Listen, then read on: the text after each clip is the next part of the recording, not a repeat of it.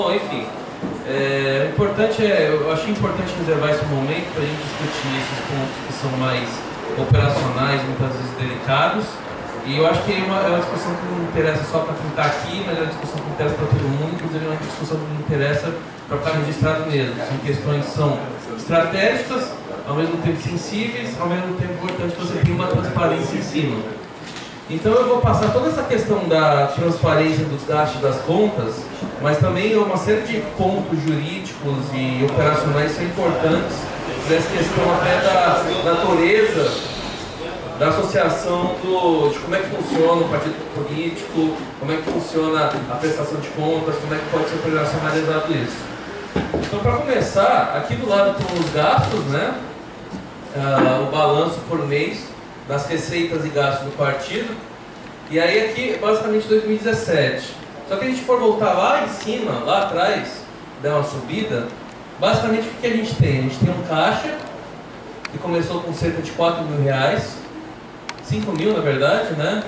Que aí esses 5 mil reais foram uma conta remanescente, um valor remanescente que sobrou do processo de oficialização do partido, porque tinha que declarar o, oficialmente o registro no Diário Oficial. E aí só isso já é uma fábula já. São uns 30 mil reais, uma grana boa. A gente teve que fazer um esforço muito grande. Eu não estava aqui na época, mas teve que se fazer um esforço muito grande para poder coletar esse dinheiro e poder fazer a publicação oficial do registro. E aí, a partir desse, dessa, desse dinheiro remanescente, desse processo de doação que teve, esses 5 mil reais a gente acabou usando nos outros meses para poder fazer os gastos diários do partido. É, só uma questão metodológica, a gente está transmitindo com a mesma tua cara, então acho que fica melhor, que não dá para visualizar direito a tabela.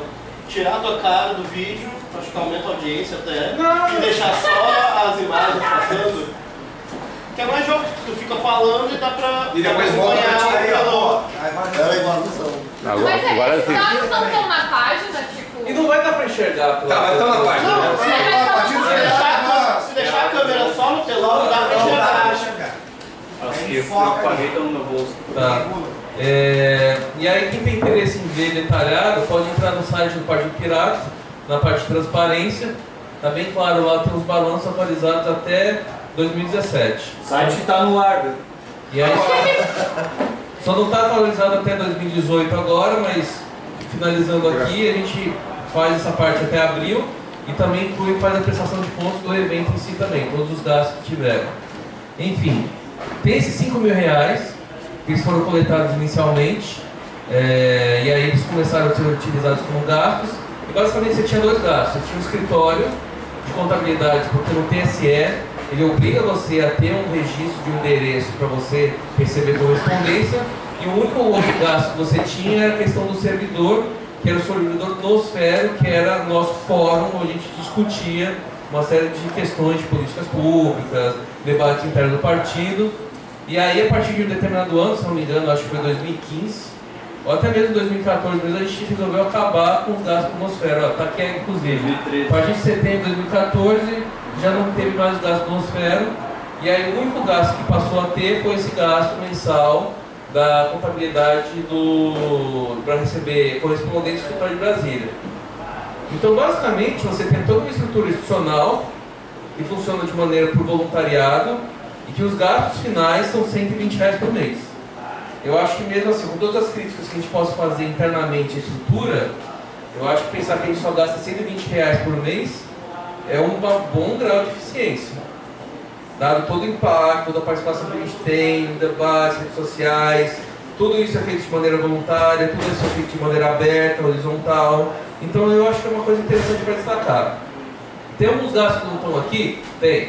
Tem os gastos relativos à URL, que aí a URL está no nome de um, uma, uma pessoa que é um voluntário também, e todo ano ela está disposta, ela vai lá faz a renovação uh, dessa URL, que seria uma coisa interessante passar para o CNPJ do partido também. E tem também os gastos envolvendo o servidor, que é o servidor do site. Que aí também quem está fazendo isso é uma série de voluntários que é, se registra ainda também não está no nome do partido, ainda está no nome de um voluntário. Só o servidor, no caso, é o servidor que está da Europa, né? Da França? O servidor da França. E aí também esse gasto não está contemplado, mas os gastos que são oficialmente em nome do partido é esse, do escritório de Brasília. E aí uh, são questões práticas de prestação de contas. Como a maioria sabe, a gente conseguiu uma liminar no qual a gente liberou o CNPJ a partir de 2015, não foi isso? Julho de 2015, se não me engano. E aí, a partir desse momento, a gente virou uma entidade jurídica, inclusive só isso, a gente teve que soltar um mandado de segurança para poder ter acesso a essa liminar que reconhecia oficialmente a figura do Partido Pirata como uma entidade jurídica. Porque antigamente você tinha uma dificuldade muito grande, porque para você abrir um partido você tinha que abrir uma associação que desse suporte jurídico ao processo de coleta de assinaturas, ou simplesmente se o cara tinha dinheiro, pegava dinheiro, dava para a empresa, coletava assinatura, e você ia lá e formalizava. Então era um processo que era muito. É, não faz sentido você só dar acesso a, a essas, essas questões até essenciais, como abertura de conta, CNPJ, registro, para só depois o partido ele vai lá e se oficializa porque você impede que todo esse processo, inclusive da formalização do partido, ocorra de maneira transparente também, que é uma coisa que é importante. Mas enfim, a partir de 2015 teve esse mandato, o CNPJ foi liberado, permitindo a gente é, contratar serviço, inclusive oficialmente. Uh, e isso exige, exige o quê também? Questões práticas, tem que fazer a declaração de imposto de renda do partido, da entidade partido. Uh, quando eu assumi, como tesoureiro em 2016, eu já fiquei de ver isso já. Uh, e aí foi em novembro de 2016 isso, então em 2017 a gente correu de todos atrás desses detalhes, inclusive de contador, poder fazer a prestação de contas e tal. E tinha um problema também porque a gente estava em 2016 não tinha feito a prestação de contas relativa a 2015.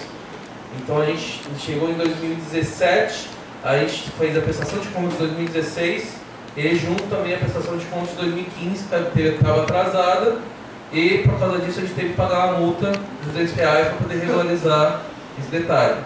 Então é uma coisa importante para você levar em conta é que tem que fazer essa declaração de imposto de renda todo ano, e aí é imposto de renda pessoa jurídica, e aí é julho, se não me engano, para final.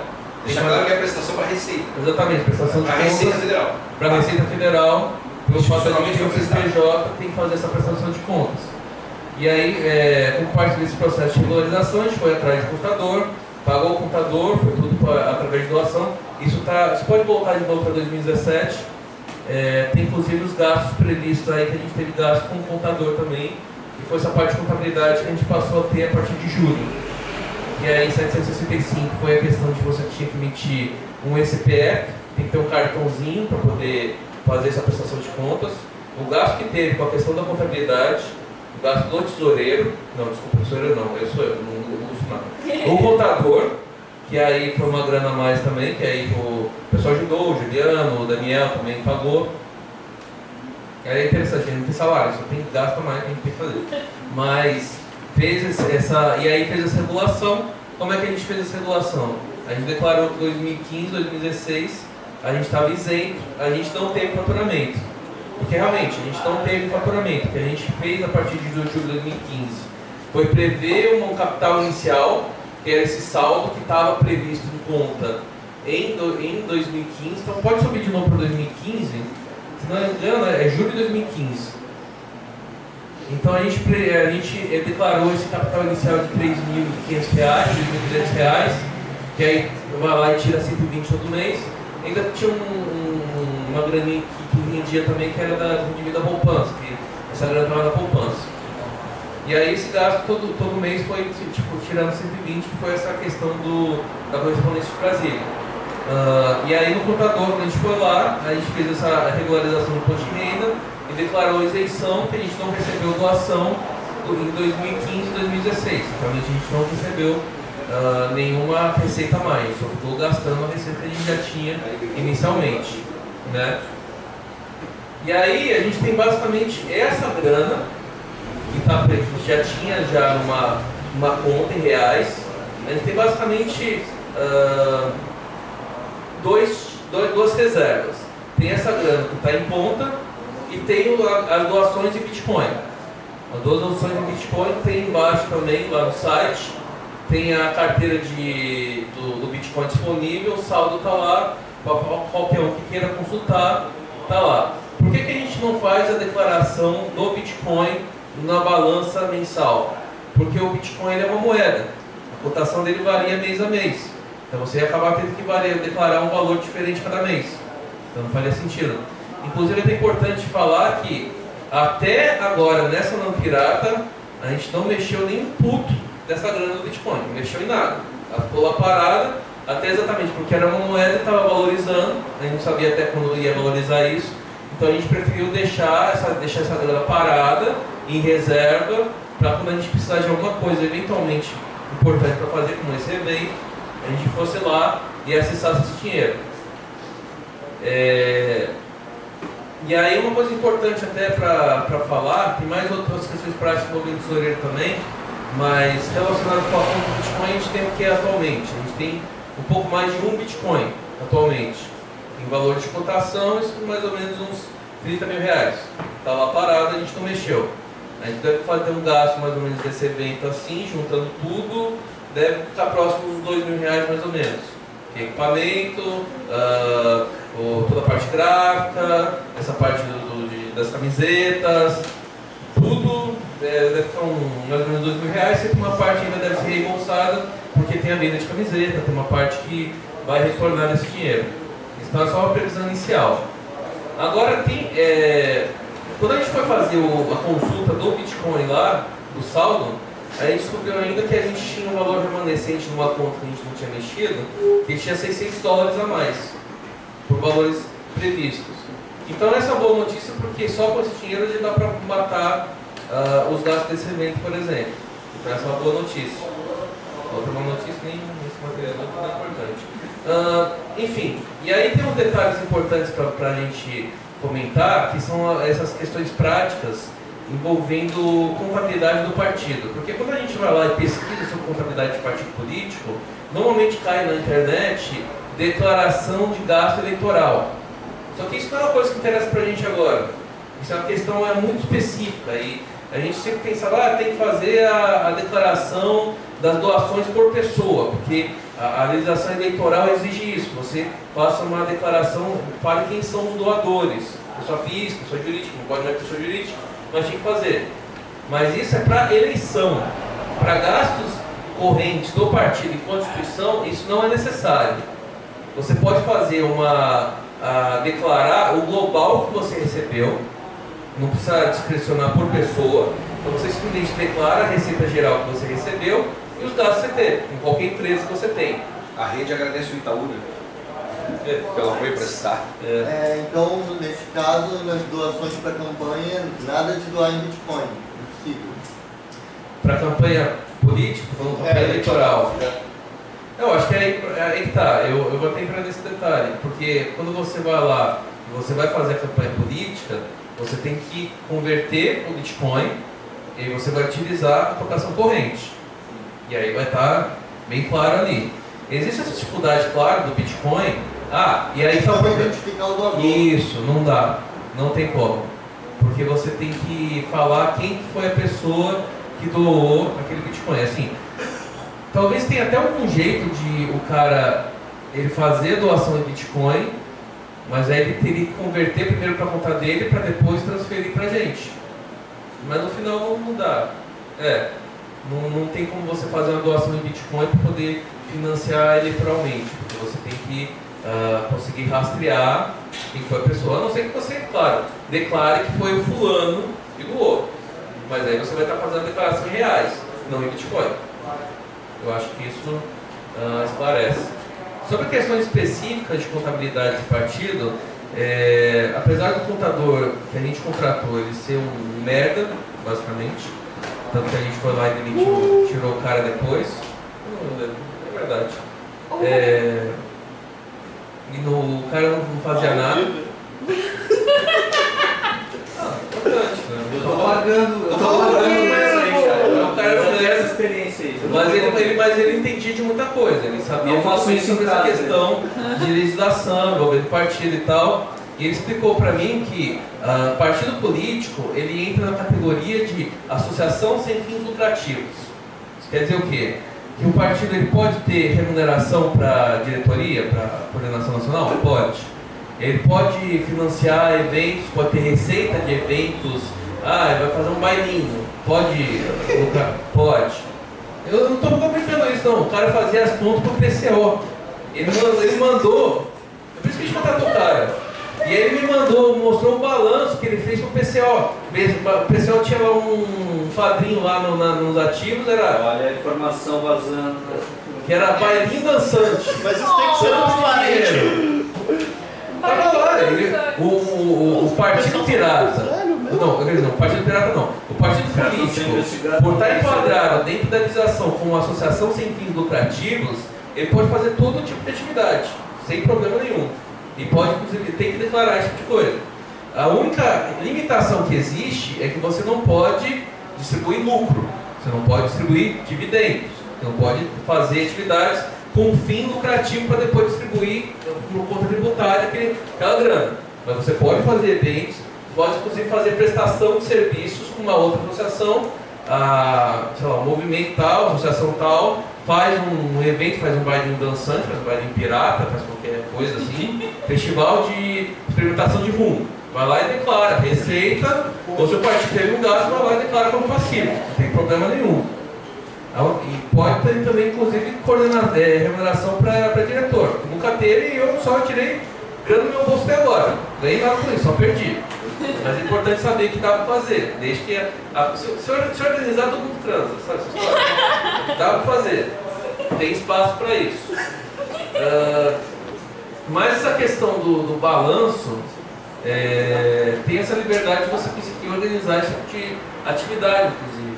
A gente estava falando, até da questão de autonomia, da questão da possibilidade, explicando para quem não está participado da discussão anterior. Existe uma grande dificuldade, não só para o Partido Pirata, mas qualquer tipo de partido nacional, ele conseguir é, garantir para cada um do- dos estados uma maior autonomia, porque existe também sempre essa questão da vinculação da coordenação nacional, da coordenação como um todo, ideologica- ideologicamente coesa, com a questão das alianças regionais e os movimentos regionais, com as atividades que cada um partido, cada grupo quer fazer no Estado. Então seria interessante, nesse caso, estabelecer algum tipo de mecanismo de confederação que permitisse que movimentos de caráter autônomo conseguissem fazer atividades é, de maneira desvinculada da hierarquia nacional. E isso, inclusive, com essa questão de contabilidade, questão de declaração de contas, dá para fazer. Porque é só você, o, no caso, por exemplo, se for uma coisa que vai gerar um gasto, o partido vai lá e declara aquilo lá como passivo do mês, ah, que teve gasto de tanto, ou se teve uma receita, uma receita de tanto. Inclusive, tá- dá inclusive para prever a questão de remuneração da pessoa se dispôs a organizar aquele evento. Pô, fui lá, me matei pra caramba, fiquei cinco dias organizando aquele evento, e aí você prevê dentro daquela receita que você vai fazer para aquele evento uma parte de remuneração para aquela pessoa que organiza a atividade. Que é uma coisa importante também, né? Não precisa ser trouxa, pode também, por exemplo, o fato de ele estar se disposto e dedicado àquele tipo de atividade, normalmente quando você vê uma prestação de serviço especificamente, você pode prever que o cara vai ganhar uma receita De tanto da- do que ele arrecadar, sei lá, 10%, qualquer coisa. Outra pode ser uma remuneração fixa também. Mas existe essa liberdade, essa possibilidade de você fazer esse tipo de coisa. O que mais que é interessante destacar? Ah, essa questão de, dos gastos. Ah, o contador, a gente tinha contratado o contador inicialmente, a gente estava pensando em contratar ele e ficar com ele direto, porque aí ele poderia fazer o, o balanço mensal certinho de cada mês e tal. Só que a gente viu que na, na do, na ponta do lápis ele ia ser um gasto muito grande para a gente manter todo mês. Então eu acho que o interessante mesmo é a gente só é, fazer um gasto anual por enquanto, para poder fazer a declaração de imposto de renda e infelizmente se tiver que gastar todo mês, o contador não tem como fazer um balanço mensal tudo, tudo certinho. Se for fazer, vai fazer uma vez por ano só faz os 12 meses, porque também não é uma coisa tão difícil. Porque os gastos eles são relativamente previsíveis aqui. Tem como você acertar isso. E, e as notas fiscais a gente tem, tenho tudo em casa. Ou, ou, ou no, no e-mail do, da tesouraria. Também não é uma coisa difícil de fazer. Mas Aí, por causa disso, a gente resolveu só contratar o ele fez toda a parte de regularização e a gente já tirou ele. É que o cara era meio preguiçoso, né? É por isso que o BCO tá colocado. Não, Se eu sou- são o BCO mesmo. Desculpa galera do pessoal Ah. tá ouvindo isso. É, E aí eu, eu- eu- acho que o, o ponto interessante para destacar, que eu acho que aí é, eu já fiz, eu acho que já passei essa parte de prestação de contas, como é que foi feito, como é que foi regularizado. Eu acho interessante discutir agora o planejamento, essa questão de equilíbrio de receitas. Os gastos que a gente tem com receitas que a gente pode vir a ter.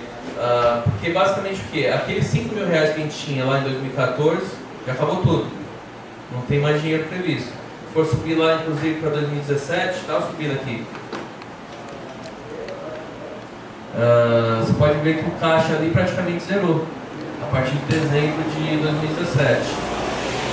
Ah, tava aqui, 28 reais? É, 28 reais.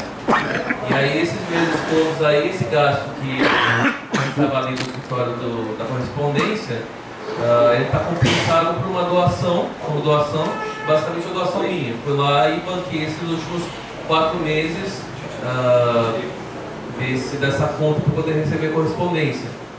Mas eu acho que aí, agora com essa grana que vai sair do Bitcoin para poder é, pagar o evento, a gente pode jogar pingar mais uma grana ali para poder ficar disponível como grana é, convertida em real.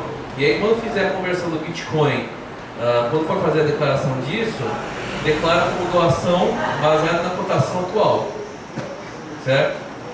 E aí você vai lá e transfere o Bitcoin e declara no balanço. Ah, doação de tanto, recebemos baseado na cotação de Bitcoin, a variação do saldo que está previsto ali ah, no site de transparência. Mas a gente precisa também, seria o ideal, a gente conseguir pelo menos compensar esses 120 reais por mês para a gente também não ir queimando Bitcoin.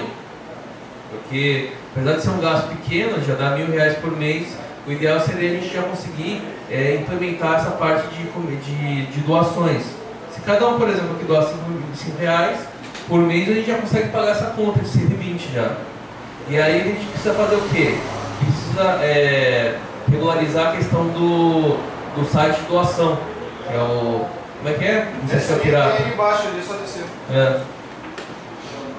E aí tem um site de iniciativa pirata, Desce. Aí. Aí todo, toda a página, já que você entra no Partido Pirata, tem essa parte de doação. ah, que aí atualmente ele aceita o quê? Doação por PayPal ou por PagSeguro atualmente. Ele- ou por Bitcoin também, ele permite isso. Aí a gente ainda não tem só a questão da doação para conta bancária. Por que, que a gente não tem a doação por conta bancária? Entra na discussão. Quando a gente contratou o contador, em 2016, era para duas coisas. Primeiro era para regularizar o imposto de renda, que a gente fez, e a outra era que quando a gente foi tentar abrir a conta do Banco Brasil na Caixa Econômica, apesar da gente ter CNPJ, na prática eles falaram que não podia. Porque eles só iam abrir para partido já regularizado. Pelo menos foi essa a justificativa é, é, oficial que eles deram para a gente. Nem sei se é oficial porque eles deram de maneira oral, eles não passaram por e-mail essa, posição oficial, né? Mas eles falaram isso. E isso está relacionado com o fato da gente estar, de certa forma, dentro de um vácuo jurídico, porque a gente tem um CNPJ que foi regularizado, foi, a gente conseguiu obter por meio de liminar, mas a gente entra nesse vácuo jurídico, da gente ter essa prerrogativa da liminar, mas a gente não ter uma, uma- um, um precedente de um partido que não está regularizado ter tido acesso à conta antes. E aí, por causa disso, a gente tem que entrar, o jurídico do partido tem que entrar com mandato, uma liminar, para poder pedir a abertura dessa conta bancária oficial no nome do partido. Que eu acho que é uma coisa importante mesmo, assim, regularizado, bonitinho, tá lá no nome do tesoureiro. Mas, isso não é necessário, isso não é uma coisa essencial. Pelo que eu conversei com o contador, quando você declara, por exemplo, o caixa, o caixa está lá, disponível. faz parte dos ativos. Esse caixa não precisa necessariamente estar numa conta institucional vinculada com o CNPJ do Partido Pirata. Ela pode estar na conta, por exemplo, tesoureiro, na conta de qualquer um. O importante é que, quando for fazer a declaração de imposto de renda, você declarar esse dinheiro como componente do caixa do partido. E aí o importante é só uma pessoa, ela abrir a conta só para fazer isso, para você não misturar gastos pessoais com gastos do partido. O precedente. Mas dá para fazer. Por que, que eu não fiz? Primeiro porque eu não sabia até, sei lá, setembro mais ou menos essa informação. Ah, segundo porque já estava de saco cheio, não queria mais fazer essa merda. É, terceiro porque eu falei, ah, já está próximo já da- do, do- do congresso, já não, não vou nem mais ser tesoureiro. E aí, pô, eu vou abrir conta para depois eh, entrar outra pessoa e abrir a, e a conta e aí regularizar. Eu acho que não é necessário. Mas assim, é. Essas três contas aí, ó. Mas por enquanto ainda tem essas três possibilidades de fazer: PagSeguro, Bitcoins e PayPal. Mas é interessante mesmo, assim, porque a maior parte das pessoas quer doar mesmo por, por conta bancária. Então seria a gente conseguir, interessante colocar mais essa opção aqui. Então, Ah, tem outro negócio que eu não tá nesse site aí ainda, que nós que é a pessoa pode doar. Ah, vou falar no microfone. Ah, vai, eventualmente vai aparecer aí também nesse site, a, a pessoa pode doar a capacidade de processamento, dá para minerar criptomoeda do Partido Pirata. Tá no ar já o negócio, abre aí, Danilo. Uma aba nova. Provavelmente não vai ser esse endereço aí, mas por enquanto é em CoinHive. Oi. Coin. No teclado de baixo mesmo. Ah, não sei. CoinHive. Ai. Ai. HIV. E ponto partidopirata.org. Oi. Isso é o mesmo que a galera do, tá no site Mate Ratos? É a mesma coisa que tem no site do Mate Hackers, é a mesma coisa que a gente, a gente denunciou que tinha no site do MBL, é a mesma coisa que tinha no site do Pirate Bay. Governo de São Paulo também. É pro Não é, blog, não não tem tem como PR. Só que isso é voluntário, né? Você não doa, não, não Sim, é sim, tem um, tu tem que clicar ali naquele. Eu tenho que abrir essa Aí tem uma- página e. Tem uma explicação. Passo a passo, vamos lá. É, vai- não, não, vai ter uma explicação melhor, isso aí tá feio. Basicamente, clicando naquela ali embaixo ali no. Nisso aí, vai começar a minerar com esse computador aí e mandar pro Partido Pirata. Isso aí. Aí é uma conta a ser acrescentada ali, né? Tem PayPal, PagSeguro, Bitcoin e sei o quê. Mineração. Tu tá Vai doando o poder de processamento do teu Ah, mas qual computador. moeda que é? Ah, CoinHive usa a Monero agora. Monero. Monero. Então já tem que botar uma, uma... A tesouraria vai ter que pegar essa... É, vou aproveitar com a tesouraria nova. Anota aí. Bota aí. Monero. eu acho que é Bota 7x, 7h, O maiúsculo, M minúsculo. Eu acho que então, é para quem tá vendo então, tem mais uma possibilidade, então dá para minerar a parte do Bitcoin para Partido Pirata. Não é Monero. Bitcoin, Monero. Monero. Dá para dá, dá pra minerar criptomoedas para Partido Pirata. Ah, eu acho que é uma opção interessante para a gente colocar no site de transparência também, né? Pô, eu não, o cara entra lá, doação, ah, eu não, pô, não tenho PagSeguro, não tenho PayPal, não tenho dinheiro, não tenho. tenho... Ah, tudo bem, tem seu CPU aqui, pode doar. É tipo- vez de doar pro Facebook, doa pro por partido. presente. Então eu, eu acho que até uma. Dá pra fazer um questionário assim, você tem dinheiro? Não. Tem o CPU? Tem, então tá aqui. Dá pra minerar. É, enfim, eu acho que é interessante a gente já, porque assim, já existe dentro da iniciativa pirata a possibilidade de você se tornar um, um doador mensal regular. Tem essa previsão já, já existe essa possibilidade. Tem ali. Então a gente, se todo mundo, por exemplo, aqui doar 5 reais, só o pessoal que está aqui na sala, a gente já mata essa, essa conta aí de 120 reais por Tem mês já. PayPal ali, se clicar ali. Apenas PayPal, só tô É, tá ali, ó. E aí, Programação via PayPal. para finalizar, ah,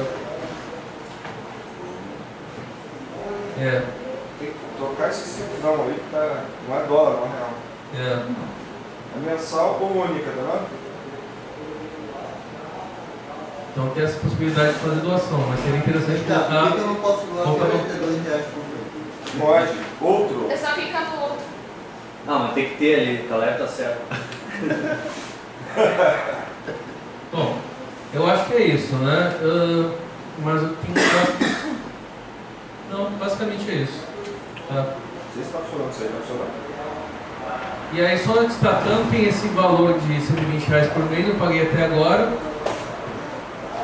Eu ia falar que eu ia pagar esse mês que vem, acabou, mas acho que nem esse mês que vem eu vou. Não sei, vamos ver aí como é que vai ser essa transição, né? Mas em tese dá pra, olha, dá pra pegar essa grana no pirata pra poder já pagar essa conta já. Não vai sobrar. Fala aí. Só assim, não dá pra a gente alongar muito. Porque já são meio de mente e é uma hora que vai falar de novo. Tá. É, três coisas rápidas. A primeira é que tem alguma, algumas questões, por exemplo, alguns gastos de é, domínio, é, documentos de cartório, essas coisas todas, que, que também as doações foram lá, tipo, eu que fiz a maioria, então eu ainda não virei músico, então por enquanto ainda consigo pagar essas, essas coisas. A segunda coisa é que eu queria levar para a Assembleia sugestão de tentar, já que a gente deve ter que trocar documentos e tudo mais, tentar trocar a sede fiscal, porque na verdade esses 120 reais é porque não é nem correspondência, é a sede fiscal do que para partidos políticos a sede tem que ser lá em Brasília. Então, além de tentar achar um mais barato, já encaminhar a troca da sede fiscal e já ir direto para o CNPJ do partido.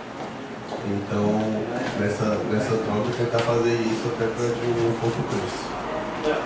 Tem algum orçamento já de outros virtuais? É, o preço não é muito mais baixo não. Tem um que tipo era 100 reais, assim. Só que o, o, negócio é porque é, se a gente fosse trocar só o preço de cópia autenticada, essas coisas para trocar junto do cartório, já daria uns 20 reais e tudo mais. Agora dá para tentar fazer essa, essa troca. Essa troca dos papéis no cartório já falando. E a alteração da, da sede fiscal para o endereço tal, tal. Isso é mais barato. E era isso. Ah, pera, não, Walter, tem uma outra dúvida rapidinho. É aquela questão de que ainda estava com o nome de secretário de 2008, Ah, não, isso- isso- está tranquilo. Sim, no cartório está tranquilo, já foi atualizado na Receita, já foi atualizado no TSE. Aí nessa troca, aí tem que trocar no cartório, trocar na Receita e trocar no TSE com a indicação das, é, dos, novos, dos novos nomes burocráticos para o momento. Assim, porque se, se a gente não trocar também, continua os mesmos nomes. Tem, tem, esse, é, se não trocar ofici- é, no cartório, continuaria os mesmos nomes. Mas a, a complicação que teve anteriormente já foi sanada, já foi trocada. Tá. Enfim, só fazer essa parte de regularização de receitas com gastos. E eu acho que é interessante, talvez, tivesse um debate sobre o que, que a gente pretende fazer com a gordura que a gente tem até o momento, que é basicamente os bitcoins, né? Me parece que já tem uma proposta de uma, um evento para poder fazer, que seria uma interação latino-americana, provavelmente. Já estaria previsto essa grana, essa reserva a mais, para poder efetivar esse evento também. Que eu acho interessante que você manter uma tradição de você é, fazer o ano pirata num ano e fazer um evento, inclusive com caráter internacional no outro. Como a gente, por exemplo, fez em 2014, ah, ano pirata, em 2015 teve a IUF, foi isso, né? É. Agora a gente deixa o governo novo. E aí o 2016 teve ano pirata de novo, 2017 a gente fez nada, não sei. Alguma coisa? Eu tive depressão. Foi, o ano perdido. É, mas é interessante fazer um evento internacional, um evento de integração no ano que vem. Eu acho que é uma proposta boa e a gente já pode já deixar pré-deliberado que pô, destinar o recurso para isso. Aí tem outras especulações também sobre, eh, por exemplo, ah, criar pirata coin, ou criar algumas moedas virtuais, mas eu acho que isso envolve também um debate sobre a questão de você criar um lastro para isso. Né? Pensando em usar um A lastro. aplicabilidade tem que. tem É, a aplicabilidade eu estava pensando em utilizar como lastro os itens da loja, mas a loja também não está regularizada. é, É um ponto assim, você vai lá, imagina, você vai lá e arrecada um dinheiro É, lá, fiz um texto, ganha 5 pirata coin. Ah, eu fiz uma atividade, 30 pirata coin. Aí você junta 2 mil pirata coins e ganha camiseta. Entendeu? Aí funcionaria. Programa total. É. Milhas piratas.